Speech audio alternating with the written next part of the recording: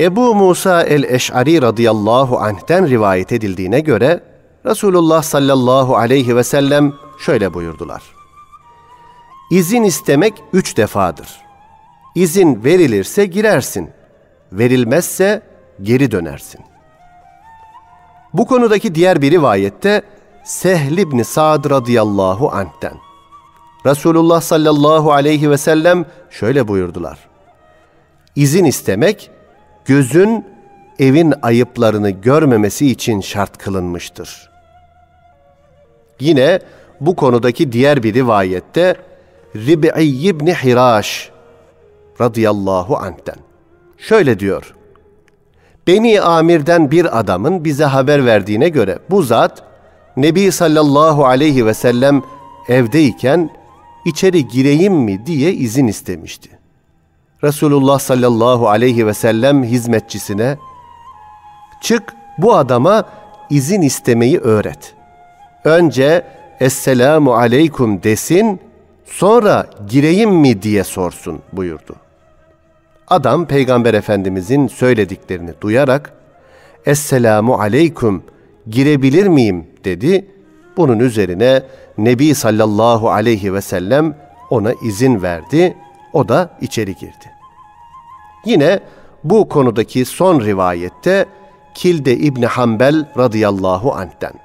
Şöyle diyor. Nebi sallallahu aleyhi ve sellemin yanına gittim ve selam vermeden huzuruna girdim. Bunun üzerine Nebi sallallahu aleyhi ve sellem geri dön ve Esselamu aleyküm gireyim mi de buyurdu. Kıymetli dinleyicilerimiz, bu hadisi şeriflerden öğrendiklerimiz madde madde şunlardır. 1. Bir eve herhangi bir maksatla gidildiğinde girilip girilemeyeceği ev sahibinin iznine bağlıdır. 2. Bir eve girmek için izin istemek, kapı çalmak, zil çalmak veya seslenmek üç defadan fazla olmamalıdır. 3.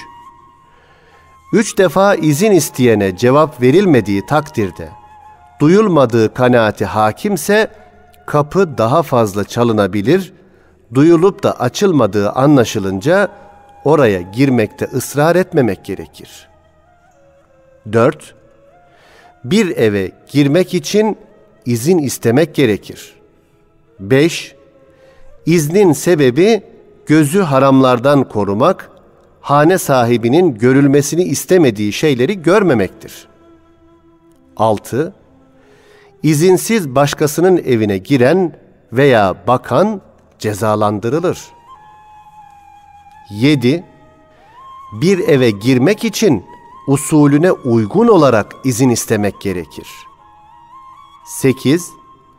Eve girmeden önce ev halkından birini gören kimse önce selam verir, sonra girmek için izin ister. 9. Hane halkından birini görmeyen kimse önce izin ister, sonra selam verir. Kıymetli dinleyicilerimiz, Cenab-ı Hak cümlemize selamla ilgili bu düsturları uygulayabilmeyi nasip eylesin. Amin.